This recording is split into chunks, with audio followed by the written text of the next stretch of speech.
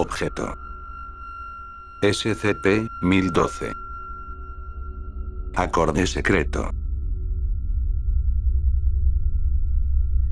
Clase. Keter. Procedimientos de contención. La Fundación ha implementado protocolos para cancelar o reducir el riesgo de generación de tres de los cinco tonos de sonido que componen SCP-1012. Primero.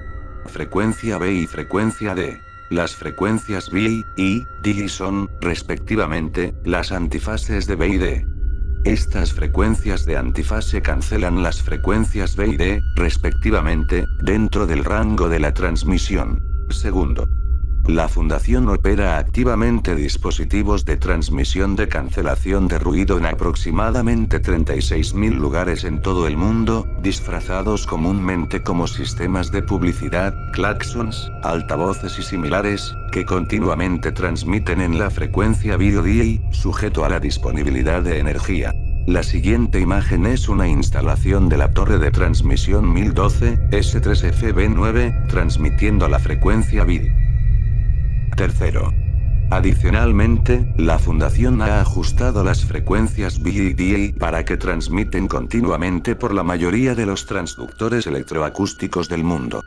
Esto se ha logrado a través de una combinación de insertar cambios de diseño en las especificaciones, de ingeniería de la mayoría de los transductores comúnmente manufacturados desde 1988, insertando la frecuencia BI, DIO ambas en la transmisión del medio de difusión y la codificación del medio grabado, incluyendo la inserción de los cambios de diseño en las especificaciones, de ingeniería para que la frecuencia BI, DIO ambas sean codificadas automáticamente, y manipulando las frecuencias de suministro de anuncios transmitidos, y la distribución de energía eléctrica para que el equipo de sonido y otros accesorios eléctricos, para generar la frecuencia BioDI.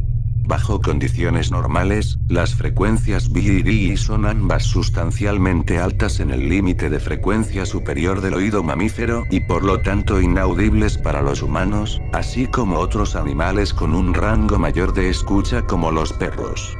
Sin embargo, se ha informado de que algunos humanos expuestos a fuertes transmisiones de la frecuencia DI experimentan tinnitus bajo ciertas condiciones atmosféricas y geológicas, como aquellas que prevalecen en Taos, Nuevo México y en Bristol, Reino Unido. La transmisión de las frecuencias BIDI podían escucharse.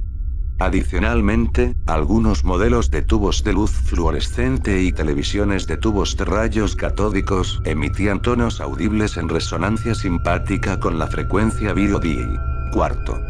Frecuencia C. En la naturaleza, la mayoría de las instancias de la generación de la frecuencia C han consistido en el canto de Balaenoptera svalbardi, la ballena de Svalbard. A través de los esfuerzos de la Fundación, la Balaenoptera svalbardi se extinguió en 1982, reduciendo de este modo la probabilidad de que el tono sea generado inadvertidamente cerca de la generación de los otros tonos constituyentes. Toda la documentación que especifique los tonos de sonidos que constituyen a SCP-1012 debe mantenerse estrictamente confidencial. Descripción. SCP-1012 es un acorde, constituido por cinco tonos de sonido, designados como frecuencias A, B, C, D y E. Los tonos de SCP-1012 son, frecuencia A, 415.305.000 hercios. Dentro del rango de escucha humana, ligeramente más alto que G. Frecuencia B. kilohercios. Ultrasónica. Frecuencia C. Hercios. Infrasónica. Inferior que el rango de escucha humana pero observable, a intensidades superiores, en forma de vibraciones. Frecuencia D. Kilohercios ultrasónica. Frecuencia E. Hercios. Dentro del rango de escucha humana, pero raramente usado en la escala cromática musical. La generación de uno o más, pero no todos, de los tonos constituyentes de SCP-1012 no resulta en efectos anómalos. La generación de los cinco tonos de SCP-1012 simultáneamente excediendo una duración de unos pocos segundos afecta a la resonancia de ciertas partículas subatómicas dentro del rango, causando que se desintegren sus partículas elementales constituyentes. Los resultados descritos son predecidos acorde al modelo cosmológico expuesto en el documento de la Fundación 8001-2552, KT, 1012.